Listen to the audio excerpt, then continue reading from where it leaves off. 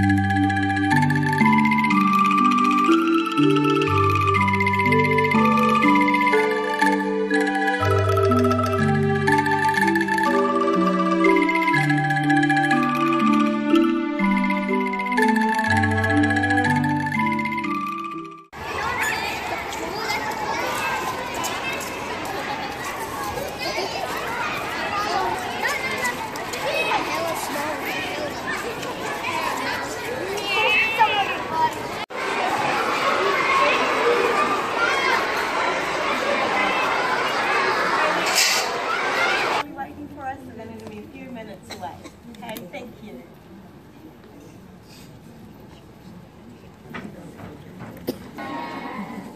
You can say good morning back if you'd like.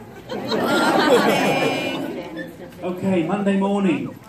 Not quite as the children uh, expected. There's a few little gi- glitches in our setup this morning, but the children have done very well. That was an exercise in seeing how quickly we can get 150 children onto the staging, and I think you did. Launched this unit with explored artifacts in the. We studied them, guessed when they were used, pondered on what they were and how they were used, and posed many questions. This got our curiosity to an all-time peak, and we considered ourselves hooked on the inquiry.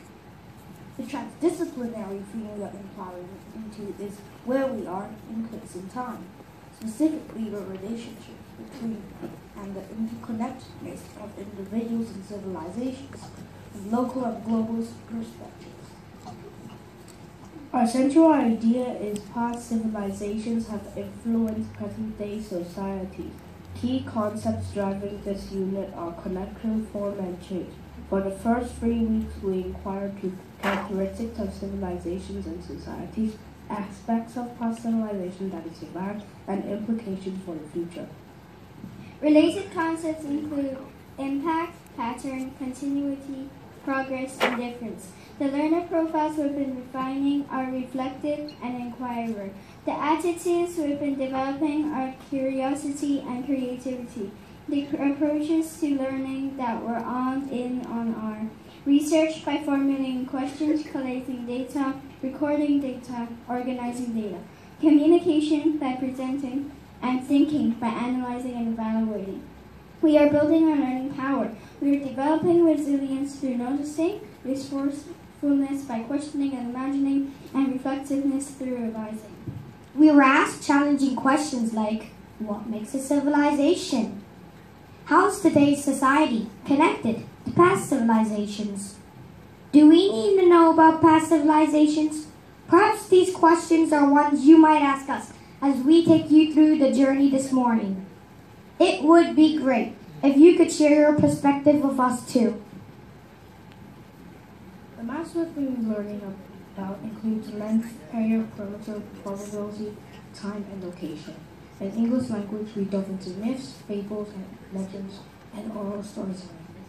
A key requirement for humans to pass on information and learn lessons through the ages. But wait, there's more. After being guided through the inquiry, we then launched into answering our own wonderings in an area of our choice, ensuring we were aiming to deepen our understanding that past civilizations have influenced present-day societies. Today, we get to share our journey